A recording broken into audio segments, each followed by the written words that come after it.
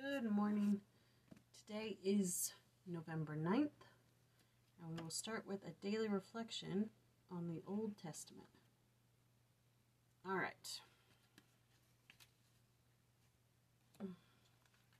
Who is this that cometh with dyed garments?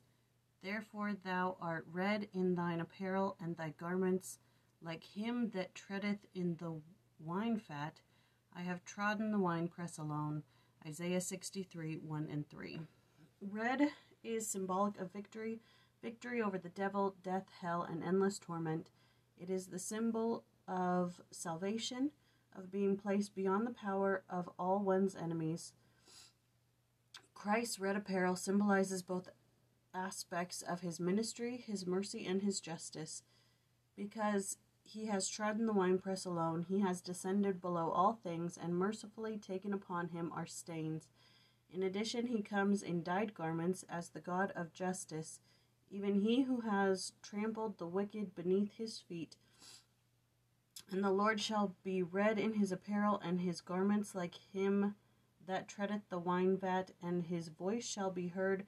I have brought judgment upon all people, and I did tread upon them in mine anger, and their blood have I sprinkled upon my garments, and stained all my raiment.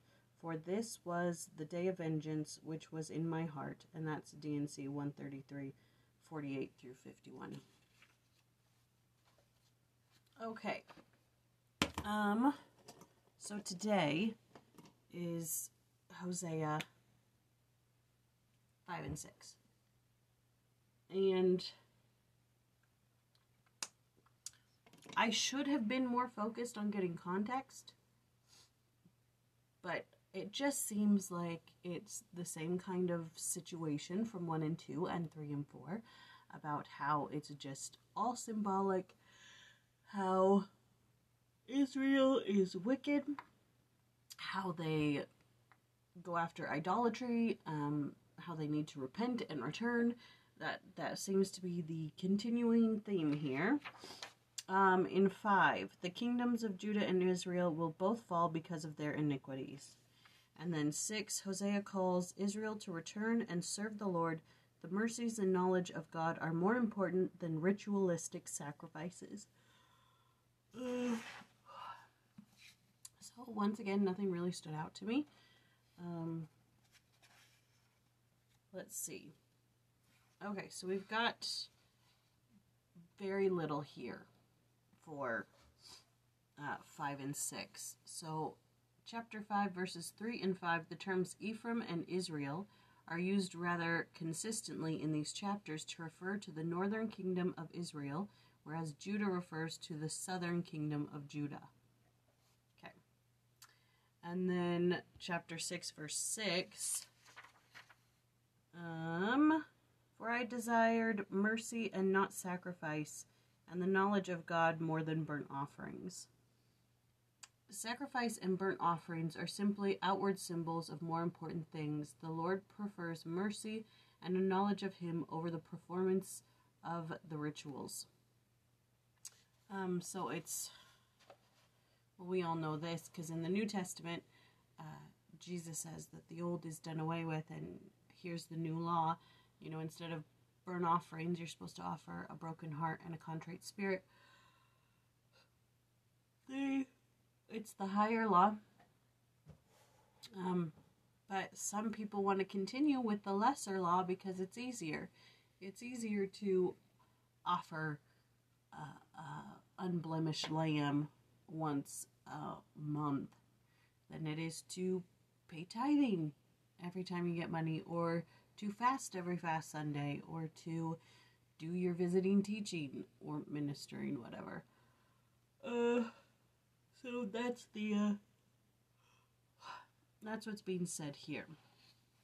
And then for 7, 6, chapter 6, verse 7, but they, like men, have transgressed the covenant, there have they dealt treacherously against me.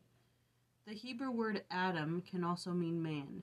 In the context of this verse, the proper name of the first man, Adam, probably should have been translated man rather than men. But they, like man, or Adam, have transgressed the covenant. There have they dealt treacherously against me. Okay. So that's that's that. Um I guess I mean this video's so short, but I guess I could uh anyways, um I made this this junk journal type thing for the Old Testament before we began. I made it last Christmas? No, I, I did it during Thanksgiving, I think. Anyways, I put it in the consignment shop. Nobody bought it, so I took it home. Um, but in it, it has a breakdown of the uh, chapters. Uh, where are we? Ecclesiastes, Isaiah. I mean, this was a cool journal. I probably should have used it instead of Obadiah. Have we been there yet? Nope. Amos? Nope. Joel? Hosea. Okay. God told Hosea to marry a woman who would never be faithful because the marriage is like God and Israel. Hosea obeyed God and married a woman who would not be faithful to him. He thus was able to prophesy with great passion about how God felt about all Israel's unfaithfulness. I guess that would give you a sense of like hurt and anguish if if you it's really sad that you knew she wasn't going to be faithful to you when she married you and then um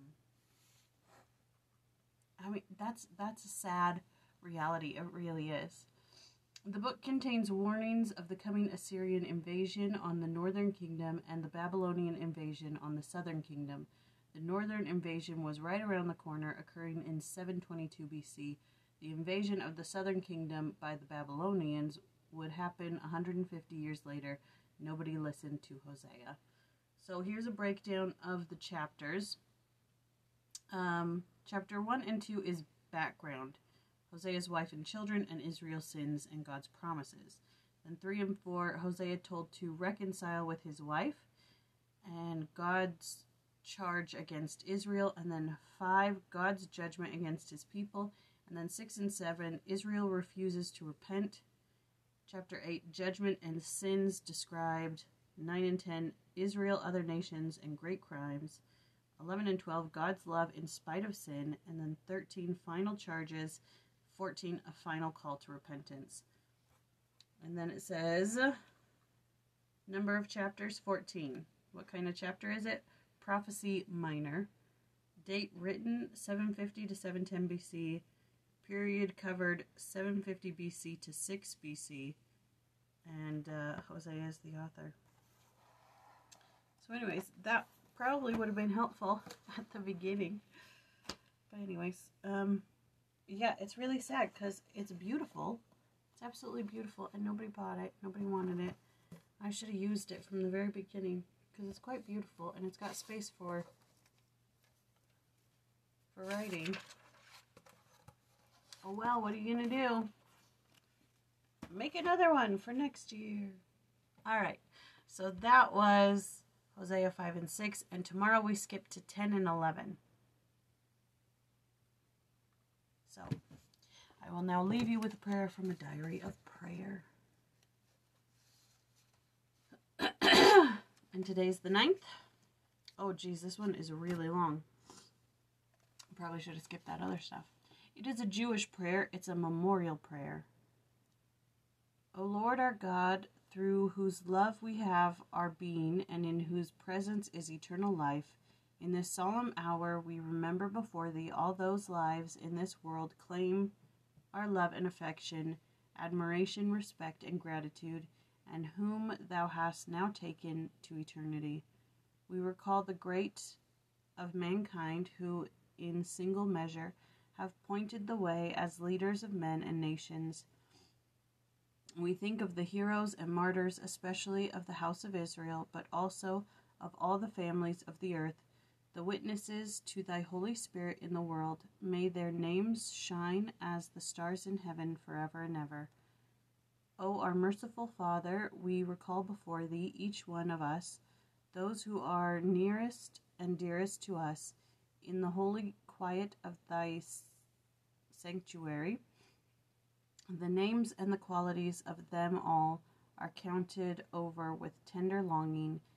Each capacity, each merit, and each grace shines before us now as a crown to a treasured name and as an incentive to rich and noble living. May the voice of reason speak to our troubled spirits of the essential place of death in the scheme of life. We could know no life of meaning and worth except through the pilgrimage of struggle which is the earthly lot of us all. May the light of faith pierce the shadows that enfold us and still the storm of our rebellion.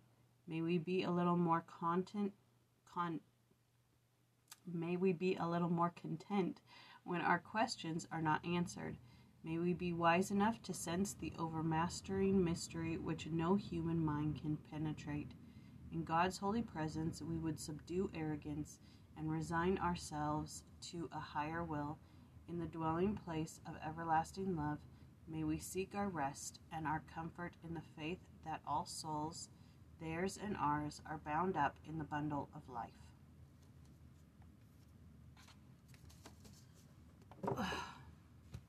All right. So we'll see you tomorrow. Bye.